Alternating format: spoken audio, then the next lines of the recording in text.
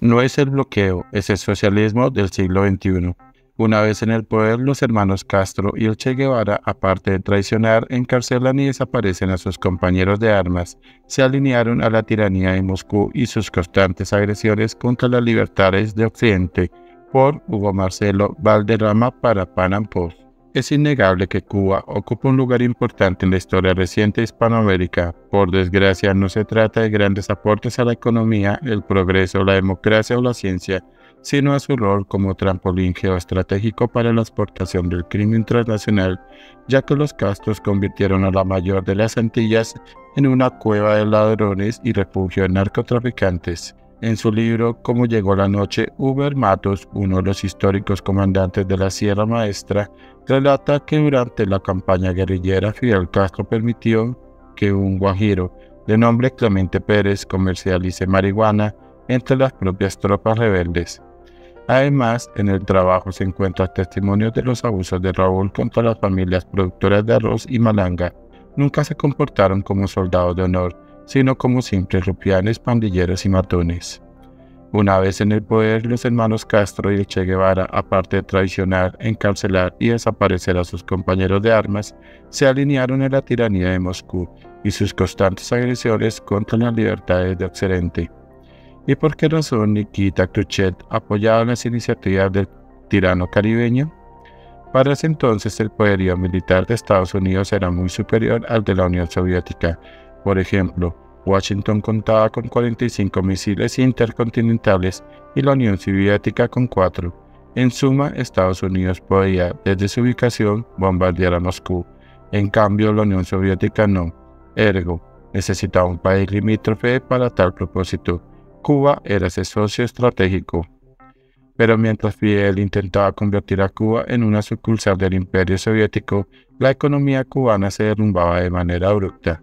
De hecho, para 1963, la otrora poderosa industria del azúcar había reducido su productividad en 23%, la más baja desde la década de los 30.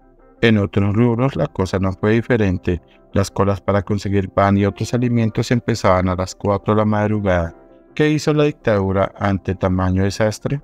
Lo sensato hubiera sido levantar las restricciones y dejar que funcione el sistema de precios como estaba antes. Pero eso era algo que mentes totalitarias como la de Ernesto Guevara y Fidel Castro no podían aceptar. El Che creó el sistema de trabajo voluntario, Básicamente médicos, profesores, oficinistas y hasta amas de casa fueron obligadas a trabajar horas extras en la producción de azúcar. Note la paradoja, la izquierda latinoamericana suele protestar por los trabajadores que son explotados por el capital. No obstante, no dice nada de la explotación esclavitud a la que son sometidos millones de personas por parte de las dictaduras castrochavistas. Ahora que ya han pasado más de seis décadas de la captura de Cuba, las cosas solamente han empeorado. Veamos. En octubre de 2022, el Observatorio Cubano de Derechos Humanos reveló que el 64% de los habitantes de la isla se encuentra en crisis alimentaria. Consumen tan solo el 30% de las calorías diarias requeridas. También nos muestran que más de la mitad de los hogares cubanos, el 51%, tienen problemas incluso para comprar lo más esencial para sobrevivir, pero mejora un poco para quienes reciben remesas familiares. En servicios básicos las cosas están igual de malas, pues el 72% de los hogares cubanos sufren cortes recurrentes, incluso más de 10 horas de falta de suministro eléctrico. Solamente un 3% declara tener suministro continuo de electricidad. Al respecto, Jaxis Cires, director del Observatorio Cubano de Derechos Humanos, explica lo siguiente. Para el 64% de los cubanos, la crisis alimentaria continúa siendo el principal problema que enfrentan en la isla, donde desde julio de 2021 existe una marcada tendencia de casos en los que las personas se privan de al menos un tiempo de comida. Desde julio de 2020 existe una marcada tendencia que muestra un incremento de casos en los que algún miembro de la familia dejó de desayunar, almorzar o comer en el último año la duración de los cortes de luz aumentó y pasó de 6 horas a un día entero. El gobierno los deja sin energía eléctrica porque le interesa mantener el suministro a las zonas turísticas de La Habana y Matanzas. Para nosotros los cubanos de calle, la llegada de turistas es una maldición, pues estos alimentan con dólares a nuestros verdugos.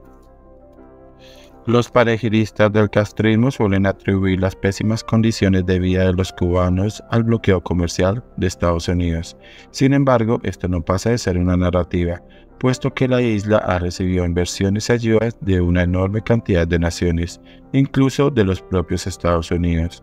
Por ejemplo, desde 1988, las cadenas hoteleras españolas fueron pioneras en el desarrollo del turismo cubano a estas le surgieron otras empresas e instituciones del sector financiero, la agroindustria y los servicios. Por otro lado, en el año 2015, en plena gestión del derechista Mariano Rajoy, el Ministerio de Economía de España anunció 40 millones de euros de financiación pública para proyectos de empresas españolas en Cuba. El acuerdo también incluía la condonación de 201.5 millones de euros. Otros movimientos empresariales son también relevantes en el sector de la franquicia, con diversas cadenas españolas interesadas en su desembarco en el mercado cubano.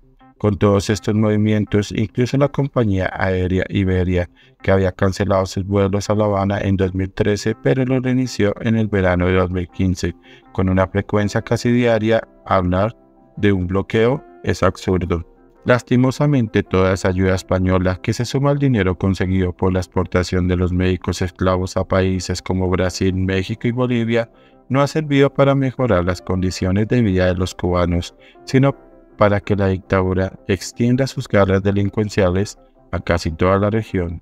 Es muy triste que el periodista y escritor cubano Carlos Alberto Montaner, uno de los rostros más emblemáticos y conocidos de la oposición al régimen chavista, haya fallecido sin ver a su amada Cuba libre de las garras de la dictadura más larga de la región. En su honor, la batalla por la libertad debe continuar sin tregua. Paz en su tumba. Mi admiración, Carlos Alberto.